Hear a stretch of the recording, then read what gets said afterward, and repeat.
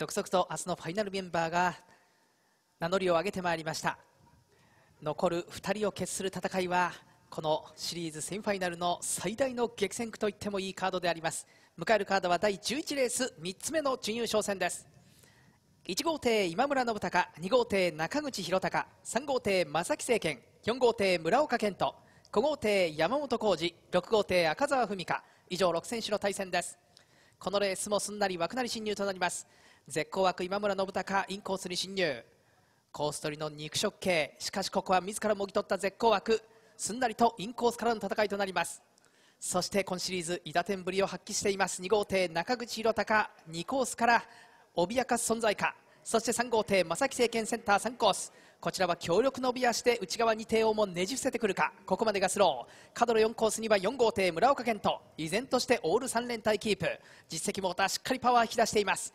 5コースには5号艇山本浩二。今日の1走目は2コースからのサッシャンドル見事な勝利。テクニックで勝負。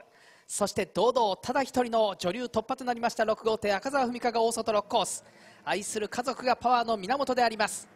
新入スタイルは3対3第11レース3つ目の準優勝戦。1番2番3番ダッシュ4番5番6番。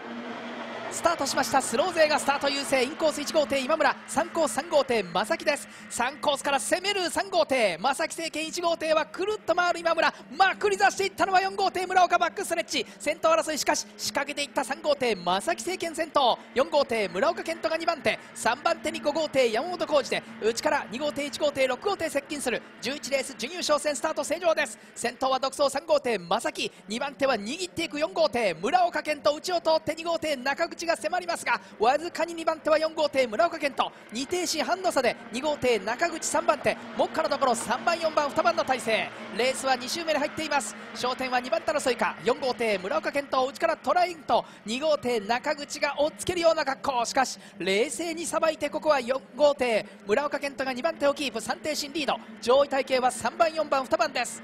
4番手からじわり接近してくるのは5号艇山本浩二。後方は6号艇赤澤文香。そして1号艇今村信孝。現在最高峰となっています。2周2マークもう一度潜り込む。2号艇中口博隆。大きく回る4号艇村岡健太もここでまた差が縮まってきた。2号艇中口が追い上げてくる。その差は2停止。4号艇村岡に内から迫ってくる。最終周回に入っています。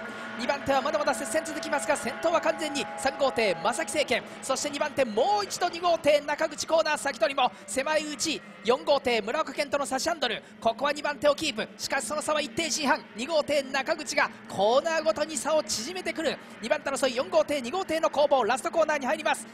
第11レース3つ目の準優勝戦。先頭は3号艇正木政権パワフルに勝利。そして追っつける2号艇長口をなんとかかわしていった。4号艇村岡2番手守りきった。上位体系3番4番2番。先頭3番正木ゴールイン2着4番村岡ゴールイン3着2番中口ゴールイン5番山本ゴールイン6番赤澤五塁。ラストで1番今村ゴールインです。